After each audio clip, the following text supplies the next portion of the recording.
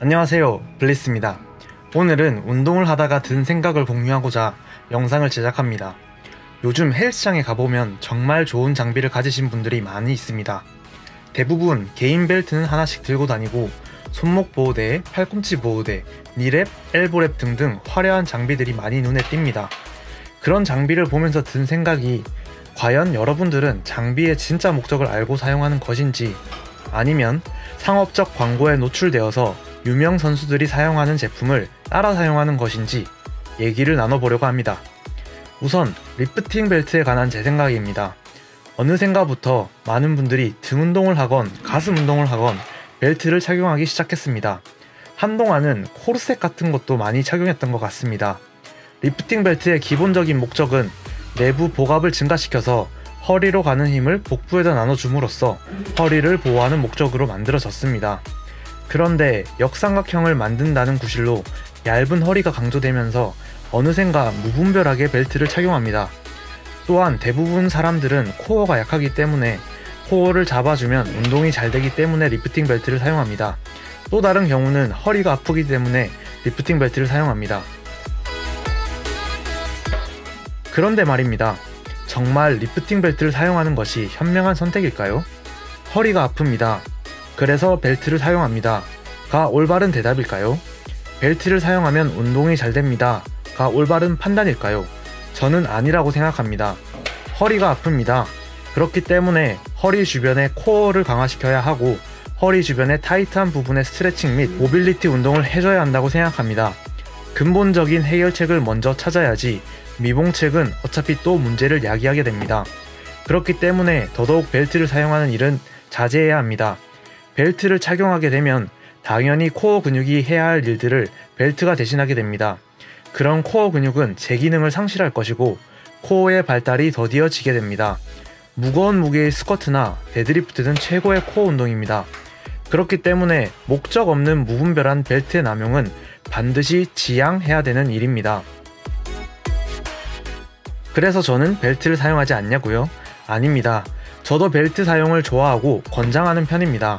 하지만 벨트를 사용하지 않고 가능한 많은 무게의 훈련을 하려고 노력합니다. 제 말의 요지는 벨트를 사용하지 말라가 아니고 벨트를 사용할 때 그 목적이 반드시 있었으면 좋겠습니다.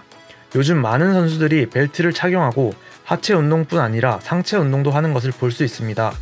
여러분들이 알아두어야 할 점은 그분들이 착용하는 벨트는 협찬 제품일 수도 있고 그분들은 더 이상 허리 둘레의 발달 제한을 막기 위한 목적도 있습니다. 그리고 벨트를 착용하지 않는다고 허리가 눈에 띌 만큼 굵어진다면 여러분은 굉장히 우수한 유전자를 가졌다는 것을 보여주는 예일 겁니다. 그 말인즉 다른, 다른 부위는 당연히 더 크고 강하다는 뜻이겠죠. 그러나 일반적으로 무거운 무게를 많이 든다고 해서 눈에 띌 정도로 허리 둘레가 증가하지 않습니다. 하지만 여러분들은 강한 코어를 가지면 가질수록 더 좋은 몸을 만들 수 있다는 점을 잊지 않으셨으면 좋겠습니다. 뿌리가 튼튼해야 나무가 잘 자라듯이 코어가 받쳐주지 않는 몸은 기능적으로나 미적으로나 형편없는 몸입니다.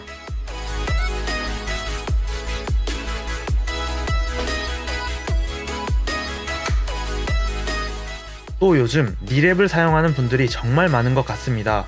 knee wrap은 파워리프팅을 하는 분들 중 장비 파워리프팅이라 불리는 종목에서 사용되어지는 장비입니다. 즉, 원래는 들 수 없는 무게지만 니랩의 힘으로 들게 해주는 것이죠. 원래는 들 수 없는 무게. 그렇기 때문에 신체에 굉장한 부담이 가는 무게.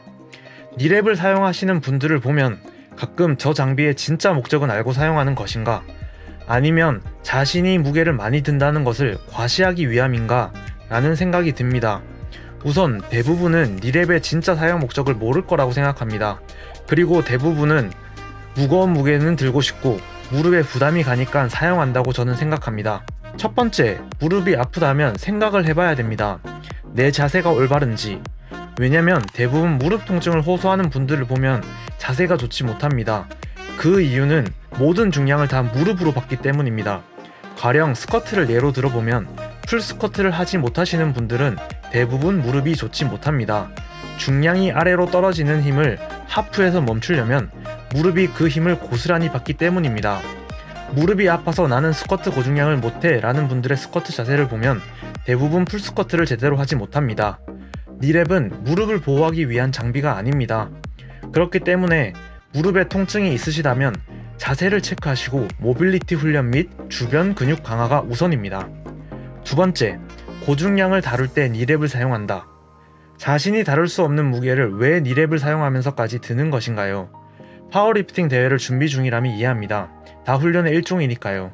그런데 일반인들이 그런 방법으로 훈련을 하다 보면 몸이 망가집니다. 자신에게 과도한 무게는 관절이나 인대를 다치게 합니다. 그렇기 때문에 과시하기 위한 중량 선택이 아닌 정말 자신이 컨트롤 가능한 무게로 훈련하시길 바랍니다. 점진적 과부하를 하다 보면 중량은 반드시 오르기 때문에 급하실 필요가 없습니다.